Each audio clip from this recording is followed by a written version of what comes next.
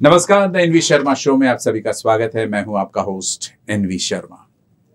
इन दिनों, यानी कि अप्रैल में और खासकर जून या मई, जून के वक्त हीट स्ट्रोक या सन स्ट्रोक या धूप लगना जिसे कहते हैं, ये एक आम बात हो जाती है, क्योंकि इस क्षेत्र की गर्मी कुछ ऐसी रहती है कि यहाँ पर सन स्ट्रोक और हीट स्ट्रोक के केसेस ज़्यादा हो ही जाते हैं।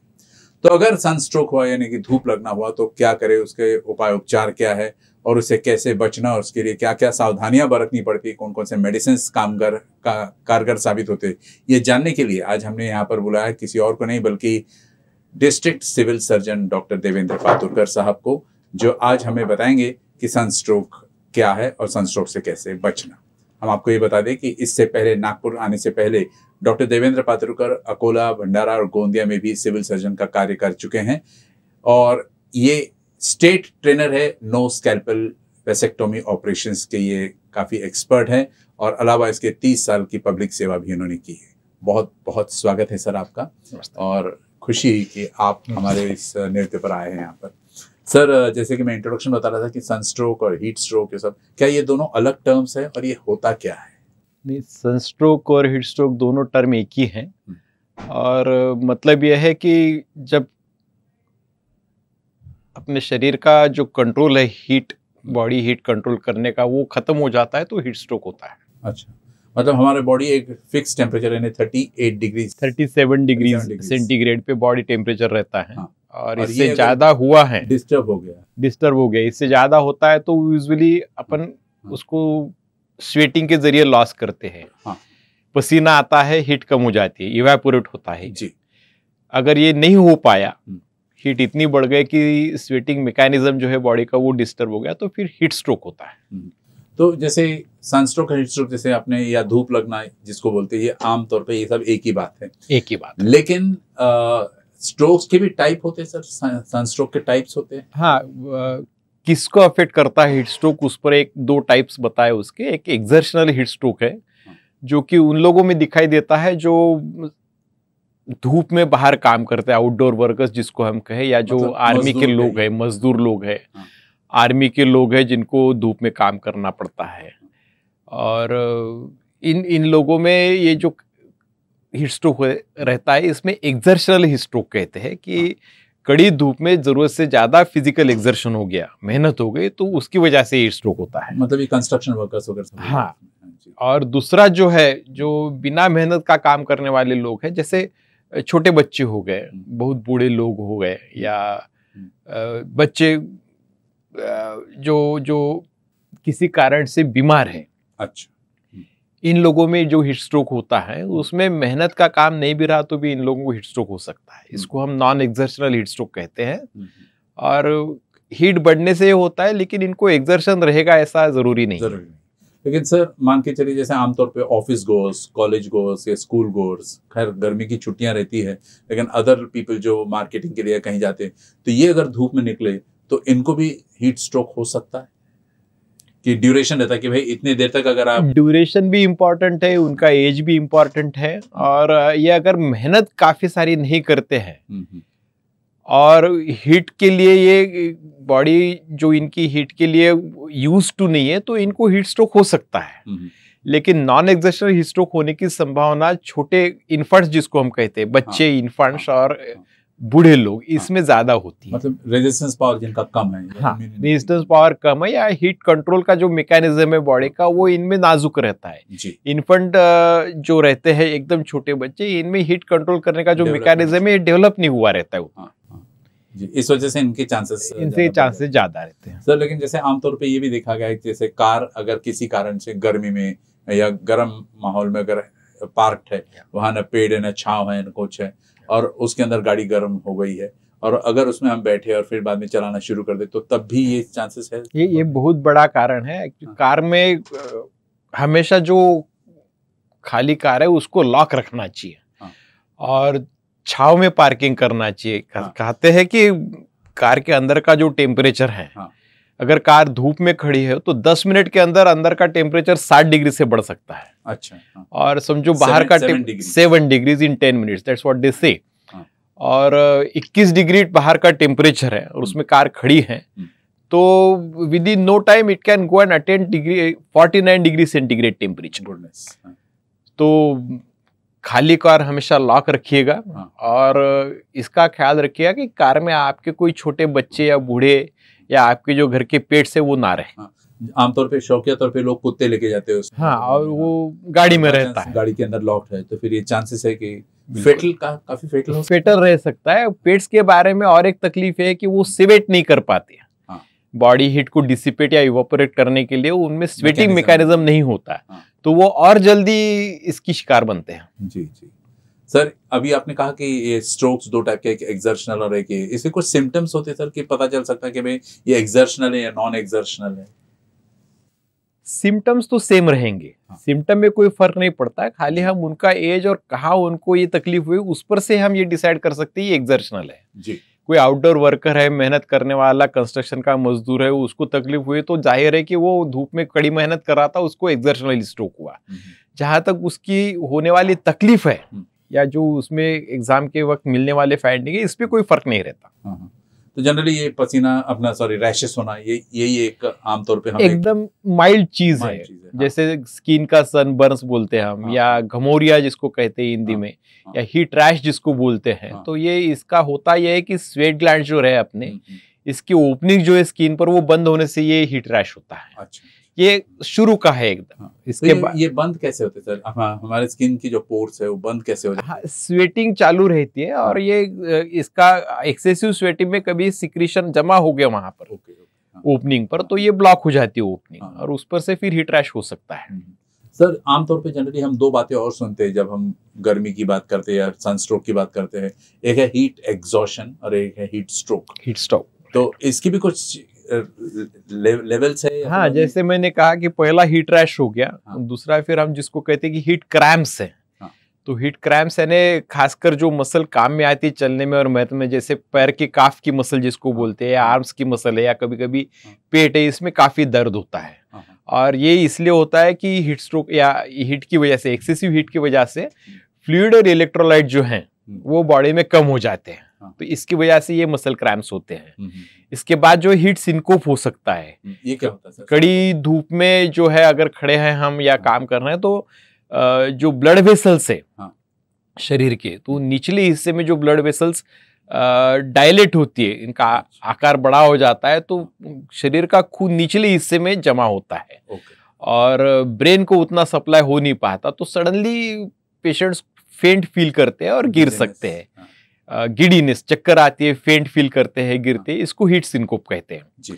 नेक्स्ट इज़ हीट एग्जॉशन हाँ, हाँ, तो हीट एग्जॉशन में यह है कि नॉशिया है वॉमिटिंग है उल्टी होना भूख ना लगना अच्छा। टेम्परेचर 38 डिग्रीज तक रहना काफ़ी सारी स्वेटिंग होती है। चमड़ी देखो त्वचा देखो तो वो ऐसी ठंडी और ऐसे गीली लगती है। हम्म, हम्म। डिजीनेस तो रहता है। डायलेटेड रहता है स्किन नहीं डायलेटेड नहीं ऐसे गीली नहीं ऐसा नहीं इसमें नहीं रहता क्योंकि अभी स्वेटिंग चालू है। हाँ। तो बॉडी कोशिश करे कि हीट लॉस हो। हाँ। तो इन इन सारी चीज़ों के साथ अ, अगर कोई आता है उसको हम हीट एग्जॉशन कहते हैं इसमें क्रैम्स भी रह सकते हैं। अच्छा। और ये अगर इसको हमने ट्रीट नहीं किया हाँ। या इसमें अगर पेशेंट की या जिसको हुई है तकलीफ़ उसकी केयर नहीं की गई तो ये आगे जाके हीट स्ट्रोक में बदल सकता है। सकता है। जी। और हीट स्ट्रोक में क्या सिम्टम्स पाएँगे सर? Heat यानी में-। ये एडवांस स्टेज हो गई। एक्चुअली हीट स्ट्रोक में काफ़ी टेम्परेचर 40 डिग्री उससे ज़्यादा बढ़ जाता है। हम्म। अब क्या होता है कि अभी वो स्वेटिंग मैकेनिज्म बॉडी की फेल हो गई है। हम्म। तो अभी स्वेटिंग नहीं होती। हम्म। और आप स्किन देखो त्वचा देखो पेशेंट की तो वो आपको ऐसा ड्राई लगेगी सूखी लगेगी स्वेटिंग नहीं दिखेगा। It is hot sort of hot skin hot to feel. मतलब यहाँ वो बॉडी इवोपरेटिंग मैकेनिज्म जो है वो फेल हो गया है अभी स्वेटिंग नहीं होती इसलिए ड्राई स्किन रहेगी हॉट टू टच रहेगी। और टेम्परेचर 40 डिग्री या उससे ज़्यादा रहेगा। हम्म। ब्रेन जो अफेक्ट होता है उसकी वजह से स्ट्रेंज बिहेव करेगा पेशेंट अच्छा। कंफ्यूज रहेगा एजिटेटेड रहेगा। हम्म, हम्म, हो सकता है उसको हेल्यूसिनेशन हो। यानी आवाज़ के या इसके हाँ, हाँ। कुछ सुनाई दे उसको इसको जिसको हेल्यूसिनेशन कहते हैं हाँ, वो भी हो सकते हैं। मतलब आपका नर्वस सिस्टम पूरा नर्वस सिस्टम अफेक्ट होता है उसमें। और they can even have convergence झटके आना जिसको कहते हैं और कोई रिस्पॉन्ड नहीं करते आप क्या बात कर रहे हो उनको समझ में नहीं आता। Ultimately they can become unconscious and can dry. If not treated अच्छा। इन्हें कोमा में जाके फिर डेथ भी हो सकती है। अच्छा। तो सर ये हु आर एट रिस्क मतलब मेरा कहना है कि आपने तो बता दिया कि इन्फेंट्स बच्चे बुज़ुर्ग लोग तो हर वर्ग हर एज के लोगों के साथ ये हो सकता है? हर हर हर एज के लोगों के साथ ये हो सकता है। जैसे हमने पहले देखा कि दो टाइप्स देखे एग्जर्शनल और नॉन एग्जर्शनल के। हाँ। तो एग्जर्शनल में जो है कि बाहर का जो कड़ी धूप में मेहनत करते हैं कंस्ट्रक्शन वर्कर्स हैं हम्म। या डेस्टिट्यूट्स है जिनको कोई मकान नहीं है और हमेशा धूप में पड़े रहते हैं। हम्म, या अल्कोहलिक्स है जो। अच्छा। जिनका कोई ठिकाना नहीं है और अल्कोहल का उनको एडिक्शन है वो दारू पी के अगर कहीं धूप में रह गए उनके पास देखने वाला कोई नहीं तो उनको हो सकता है। हम्म, हम्म, military personnel who have to parade धूप में उनको काम करना पड़ता है वो है एथलीट्स है। हाँ। आपने देखा होगा कि टेनिस मैचेस में काफ़ी हाँ।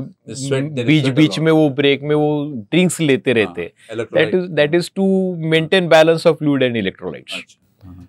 सो आइडियली क्या रहना चाहिए सर बैलेंस ऑफ़ इलेक्ट्रोलाइट्स वगैरह कैसे आप लोग इसको करते कि भाई सफिशिएंट है डिहाइड्रेशन uh, और बैलेंस का जो है देखिए कि पेशाब जो होती है हाँ। तो वो पेशाब आपको नॉर्मल रंग की और नॉर्मल क्वांटिटी में होनी चाहिए अगर ये मतलब काफ़ी डार्क कलर की है हाँ। डार्क येलो कलर के तो इसका और कम हो रही है हाँ। तो इसका मतलब आप डिहाइड्रेटेड है ओके Yeah. हाँ हाँ मतलब नॉट नेसेसरी कि सनस्ट्रोक हुआ है लेकिन डिहाइड्रेट हो सकता है। हो सकता है। अच्छा अच्छा। हो सकता है। तो एक ही तरीका रहता है कि सफिशिएंट वाटर कंजम्पशन करना। सफिशिएंट वाटर कंज्यूम करें। सफिशिएंट इलेक्ट्रोलाइट्स रखे। सर एक अहम सवाल जो शायद ये खासकर हमारे रूरल एरिया के जो लोग हैं वो दर्शक है जो देख रहे हैं इसको कि इमीडिएट मेडिकल एड नहीं मिल पाता अगर धूप लग गई तो।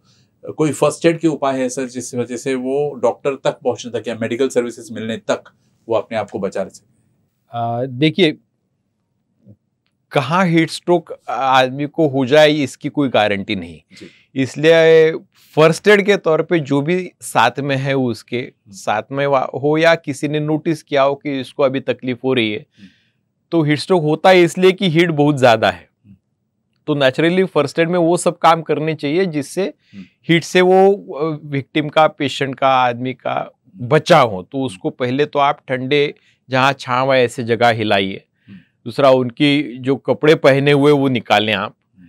तीसरा जो टेम्परेचर बढ़ गया है बॉडी का वो कम करने के लिए हमको कोई चीज़ इस्तेमाल करनी पड़ेगी जैसा ठंडे पानी से या कुनकुने पानी से या इवन मिलता है तो बर्फ़ के ठंडे पानी से भी आप उनको स्पंजिंग कर सकते हैं इवन नहला सकते हैं हम्म। जिससे।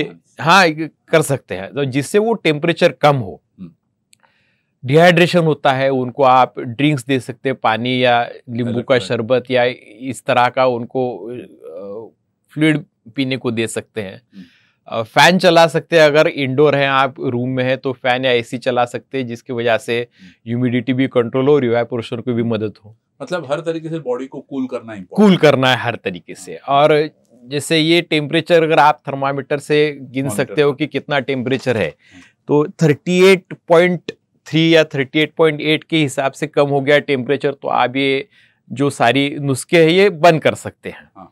मतलब बॉडी ने अभी कंट्रोल ले लिया है। मतलब 38.6 या 38.3 के आसपास 38.3 या 38.8 तक उतरते तक आपको ये चीज़ें करना पड़ेगा। हाँ, उसके बाद फिर उसके बाद आप रोक सकते हैं। हाँ, क्योंकि आमतौर पे देखा गया कि गीली पट्टी माथे पर लोग हाँ, फिर उसको माथा है छाती है पेट है पाँव है एक्चुअली हर जगह है। हम्म, हम्म, हर जगह जितने आप बॉडी पूरा स्पंजिंग कर सकते हो करना है जी जी सर कह, एक कहावत है सर कि prevention is better than cure क्या? तो ये न हो तो इसके लिए कोई उपार उपचार उपचार बताइए ज़ाहिर है कि धूप के हीट के संपर्क से आपको अपने आप को बचाए रखिए तो धूप में आप निकलो ही मत घर से हम्म। या निकलना बहुत ज़रूरी है तो ऐसा समय ढूंढो जब हम्म। धूप कम रहती है हम्म।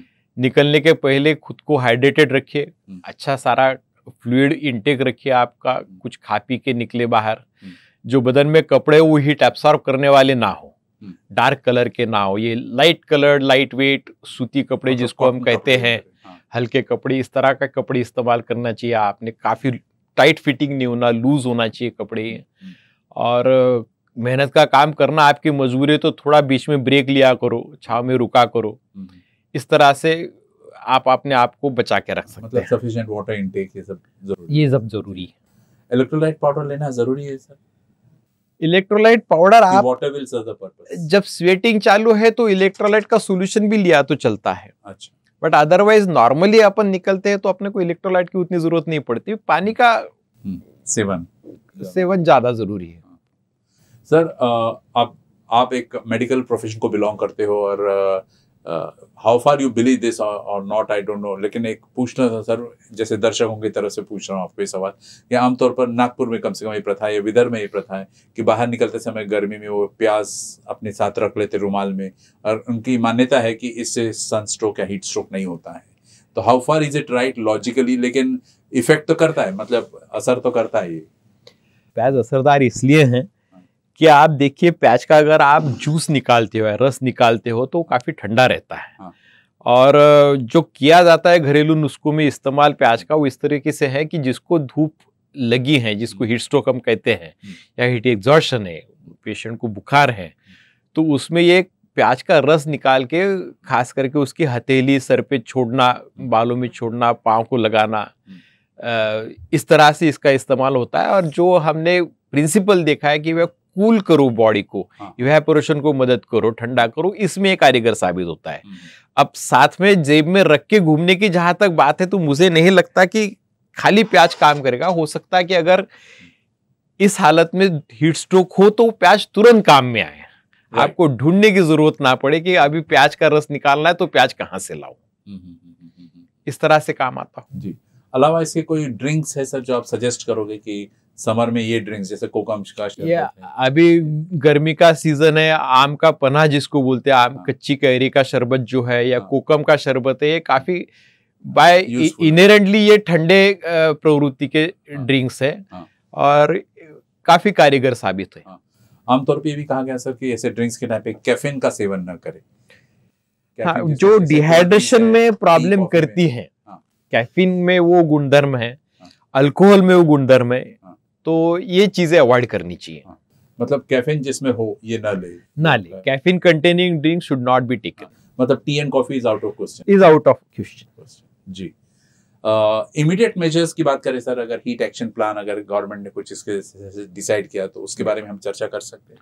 हीट एक्शन प्लान ये जो चीज़ें ये काफ़ी सारे सिटीज़ में ये होता है। अहमदाबाद में इस पर काफ़ी सारा काम हो चुका है। हाँ। नागपुर में हुआ है और अभी होने भी जा रहा है। इसमें एक, जो स्टेक होल्डर्स एजेंसी है गवर्नमेंट की तरफ़ से या नॉन गवर्नमेंटल ऑर्गेनाइजेशन या जनरल पब्लिक हैं तो इन सबका सहभाग हो इस तरह से ये प्लान बनाया जाता है। हम्म, तो जिसमें इमीडिएट बेसिस पे जो चीज़ें कर सकते हैं उसमें यह है कि आम आदमी को पता चले कि हीट स्ट्रोक है क्या। हाँ। और कब उसने क्या करना है हीट स्ट्रोक से बचने के लिए अगर हीट स्ट्रोक हो जाता है तो उसके बाद में क्या करना है? हीट स्ट्रोक मतलब- के लक्षण क्या है? कैसी तकलीफ़ होती है? इस बारे में जनरल लोगों को एक अवेयरनेस क्रिएट करना है जानकारी देना है। हाँ। ये एक चीज़ है। दूसरा अभी वेदर सैटेलाइट्स अपने काफ़ी एफिशिएंट है। हाँ। उसके ज़रिए अभी अच्छा प्रिडिक्शन हो सकता है वेदर का। हम्म। तो आने वाले 24 घंटे आने वाले 24 48 घंटों में 48 घंटों में नहीं अभी पाँच छह दिन के लिए एडवांस फोरकास्टिंग वेदर का चलता है। हीट वेव्स बुलेटिन निकलते हैं। Heat wave warnings colour coded warnings भी अलर्ट्स भी जारी होते हैं। हम्म। और मतलब इन जनरल पब्लिक को अवेयर कराना गवर्नमेंट की हाँ, ड्यूटी बन जाती हाँ। है। और अगर इसके सबके बावजूद अगर तकलीफ़ हो हम्म। तो जहाँ एडमिशन होती है दाखिला होता है पेशेंट का हीट स्ट्रोक के लिए वो हॉस्पिटल्स में इसके लिए खास कोल्ड वार्ड या कोल्ड रूम्स हम्म। बनाए जाते हैं जिसमें पेशेंट को ठंडा रखने की स्पंजिंग की और बाकी पूरी ट्रीटमेंट की हो सकता है। कभी कभी डिहाइड्रेशन इतना ज़्यादा हो कि मुँह से जो ड्रिंक्स लेते हैं पानी पीते हैं वो पर्याप्त ना हो। हाँ। तो इंट्रावेनस सलाइन के ज़रिए फ्लूड्स की ज़रूरत पड़ती है। इस तरह का पूरा इंतज़ाम ये हॉस्पिटल में रहता है। जी। हीट स्ट्रोक से लेके हॉस्पिटल के स्टाफ की पैरामेडिकल स्टाफ की ट्रेनिंग रिओरिएंटेशन वो भी होती है। जी। और जो जनरल मेजर्स है जैसे रेलवे स्टेशन पे आपने देखा होगा गोंदिया रेलवे स्टेशन पे ये चीज़ है। और नागपुर में भी मेरे ख्याल से कि वाटर मिस्टिंग होता है जहाँ से हाँ, ट्रेन से लोग उतरते हैं चढ़ते हैं तो एक फाइन पानी का स्प्रे वो निकलता है पाइप से। हम्म, तो उससे भी राहत मिलती है। मतलब almost like an automisation automisation दूसरा ये है कि जो जनरल इंस्टीट्यूशन स्कूल से कॉलेज से ऑफ़िस से हाँ। तो इनका टाइमिंग बदल के हम इसमें थोड़ी राहत पा सकते हैं हम्म, हम्म, हम्म। और जो वाटर कियोस्क है हाँ। पानपोई जिसको कहते हैं मराठी में या हाँ, जो ग्रीन नेट से स्क्वेयर्स पे ग्रीन नेट लगाते हैं हाँ। जहाँ पे ट्रैफ़िक सिग्नल की वजह से लोगों को काफ़ी देर रुकना पड़ता है इस तरह के मेजर्स करना हाँ। ये भी काफ़ी सारा मदद कर सकता है इसमें सर ये मैं सवाल इसलिए कर रहा हूँ क्योंकि अभी हाल ही में न्यूज़पेपर में ये खबरें थी कि केरला में थर्टी सिक्स डिग्री टेम्परेचर था और वहाँ लोगों को हीट स्ट्रोक होने लगा, जबकि नागपुर में forty seven degree forty six degree के बावजूद भी सनस्ट्रोक के केसेस नहीं के बराबर थे।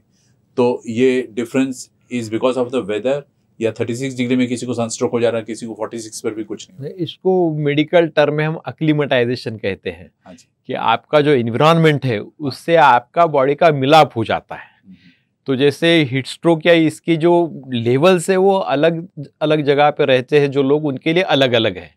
हम प्लेन्स में रहने वाले लोग हैं हमारे लिए 40 डिग्री ऊपर डेंजरस है। जो कोस्टल एरिया में मुंबई जैसे इलाके हैं वहाँ पे सैंतीस डिग्री या ज़्यादा हो गया तो वहाँ पे तकलीफ़ होती है लोगों को। और पहाड़ी एरिया जहाँ पहले से टेम्परेचर कम हो वहाँ पे अगर 30 डिग्री से ज़्यादा बढ़ गया तो उन लोगों को सनस्ट्रोक होने की सनस्ट्रोक होने की संभावना रहती है। हम्म, हम्म, हम्म। तो जैसे आपने कहा कि acclimatisation is an important factor तो क्या इसके साथ ह्यूमिडिटी का भी रोल है सर? मतलब कहीं ह्यूमिडिटी का काफ़ी रोल है बोलते हैं जिससे स्वेटिंग जो है। नॉर्मली बॉडी हीट लूज करती है वो स्वेटिंग के ज़रिए करती है। हम्म, और अगर हवा में एटमॉस्फेयर में ह्यूमिडिटी ज़्यादा हो तो ये स्वेटिंग मैकेनिज्म एफिशिएंटली काम नहीं नहीं कर पाएगा। इसलिए अगर क्लाइमेट हॉट और ह्यूमिड दोनों है तो हीट स्ट्रोक के चांसेस ज़्यादा है। जी जी। आप कह रहे थे सर कुछ कलर कोड की बात कर रहे थे तो ये कलर कोड क्या होता है और हाँ, कैसे ऐसे- हम परखेंगे कि डेंजर लेवल कौन सा है? चार चार कलर कोड उन्होंने बताया इसमें कि पहला जो है ग्रीन कलर है जिसमें कोई तकलीफ़ नहीं है टेम्परेचर कंफर्टेबल है किसी तरह के एहतियात बरतने की कोई ज़रूरत नहीं मतलब ये वेदर डिपार्टमेंट से आपको खबरें मिलती है या फिर हाँ, आप ये- डिसाइड करते हैं? नहीं ये डिसास्टर प्लानिंग जो रहता है डिसास्टर सेल जो रहता है उसकी तरफ़ से होता है। आईएमडी की तरफ़ से इंडियन मेट्रोलॉजी डिपार्टमेंट की तरफ़ से ये अलर्ट जारी होते हैं। हम्म। दूसरा जो कलर है येलो है। हम्म। इसमें आपको थोड़ा सा हीट से बचना चाहिए। हम्म। और जो वल्नरेबल पॉपुलेशन हमने देखी हम्म। उनकी ज़्यादा हमने हिफाजत करना चाहिए कि वो उनको ये तकलीफ़ ना हो। जी। और जो ऑरेंज है इसमें अभी काफ़ी जो पहले थोड़ा सा मॉडरेट था हेल्थ कंसर्न अभी ऑरेंज में काफ़ी ज़्यादा बढ़ गया है जो सीवियर कंडीशन है हीट की। हम्म। ये दो दिन तक लगातार चलती है और वैरिड इंटेंसिटी में आगे भी तीन चार दिन चालू रहती है। तो इसमें आपने को जो वल्नरेबल पॉपुलेशन है इनकी ज़्यादा हिफाजत करनी चाहिए और हीट से बचना चाहिए खुद को ठंडा रखना चाहिए। सबसे लास्ट जो रेड अलर्ट है इसमें काफ़ी सीवियर हीट स्ट्रोक रहता है। पहले यानी हीट कंडीशंस रहती हैं। दो दिन तक ये चालू रहती है आगे छह दिन तक इसका कंटिन्यू वेरिड इंटेंसिटी में प्रेजेंस रहता है। हाँ। और सब एज के लोगों में सब एज ग्रुप्स में इसमें हीट रिलेटेड इलनेसेस होने की संभावना बहुत ज़्यादा बढ़ जाती है। जी तो green is safer. Green is safe. Yellow is uh, yellow is when you should sit up and take notice. Yeah. yeah. And, and orange then is uh, orange is you really have to do something about this and save yourself. And, and red, red is, uh, the ultimate critical uh, warning wherein you must be on alert throughout. Extreme care is needed. Uh, to save those who are uh, vulnerable who are prone to developing heat strokes sir generally जैसे अ, कुछ areas northern side में बात करो Rajasthan Delhi side पे एक लू की बात करते हैं तो ये हीट वेव्स चल रहा है वगैरह तो हीट वेव एग्जैक्टली होता क्या मतलब ह्यूमिडिटी ज़ीरो हो जाती है और उस वजह से ये हीट वेव्स ज़्यादा इंटेंस हो जाता है नहीं हीट वेव्स का दो तीन तरीके से उन्होंने डिवाइड किया है जैसे पहले मैंने बताया आपको कि प्लेन्स में 40 डिग्री या ऊपर। कोस्ट एरिया में 37 डिग्री या ऊपर हाँ। या हिली एरिया पहाड़ी एरिया उसमें 30 डिग्री या ऊपर इसको हीट वेव कहते हैं हाँ। दूसरा हीट वेव का जो है कि सिंपल हीट वेव अगर है हम्म। मैक्सिमम टेम्परेचर आपके यहाँ का जो है वो अगर नॉर्मल वहाँ के रेंज से बढ़ गया हम्म। से सम साढ़े चार डिग्री से आगे छः पॉइंट चार डिग्री तक ऊपर चढ़ गया हम्म। तो उसको हम सिंपल हीट वेव कहते हैं। हम्म, अगर ये डिफरेंस ज़्यादा है 6.4 डिग्री सेंटीग्रेड से भी ज़्यादा बढ़ गया है हम्म। तो उसको हम सीवियर हीट वेव कहते हैं। जी। इस तरह से उसका क्लासिफिकेशन है। सर समय के अभाव में इस कार्यक्रम को रोकना होगा लेकिन उससे पहले एक सवाल पूछना चाहता हूँ कि लॉन्ग टर्म स्ट्रेटेजीज भी कुछ प्लानिंग करती है गवर्नमेंट या आप जैसे लोग बैठ के इसमें डिसाइड करते हैं लॉन्ग टर्म स्ट्रेटेजीज क्या होनी चाहिए? सो so, ये तो इमीडिएट मेजर्स तो ठीक है हमने आज के लिए केयर कर लिया। ग्लोबल वार्मिंग हम सबका एक रिस्पॉन्सिबिलिटी रिस्पॉन्सिबिलिटी है सबको ग्लोबल वार्मिंग क्या है पता है। हाँ। और इसको कम करने के लिए और इन जनरल हीट स्ट्रोक की इफेक्ट्स कम करने के लिए उसको बचने के लिए लॉन्ग टर्म प्लानिंग जो है उसमें अभी अफॉरेस्टेशन या ग्रीन कवर बढ़ाना ये बहुत ज़रूरी है। महाराष्ट्र गवर्नमेंट में ये हो रहा है ऑलरेडी काफ़ी सारे पेड़ हर साल हम लगाते जा रहे हैं। दूसरा जो है वाटर कंजर्वेशन करना चाहिए पानी वेस्ट करना बिल्कुल ठीक नहीं. पानी बचा के इस्तेमाल करना चाहिए हाइड्रेटेड एटमॉस्फेयर या. और तीसरा जो है कि जो अपने एनर्जी सोर्सेस है अल्टरनेटिव एनर्जी सोर्सेस का इस्तेमाल ज़रूरी है ताकि ग्लोबल वार्मिंग कम हो. Non conventional energy sources like solar energy जी. इनका इस्तेमाल हो. बहुत बहुत शुक्रिया सर. चलते चलते एक मैसेज आकर एक लाइन का हो जाए. मैं दर्शकों से यही कहूँगा कि विदर्भ में हम सब लोग गर्मी से काफ़ी वाकिफ़ हैं। इसके बावजूद जैसे जिनको ये हो सकता है छोटे बच्चे बूढ़े लोग बीमार लोग इनको बचाने के लिए आप खास प्रयासरत रहें और खुद को भी गर्मी के परिणामों से बचाए रखें हीट स्ट्रोक से बचें। Thank you thank you very much sir for coming on this show pleasure talking to thank you sir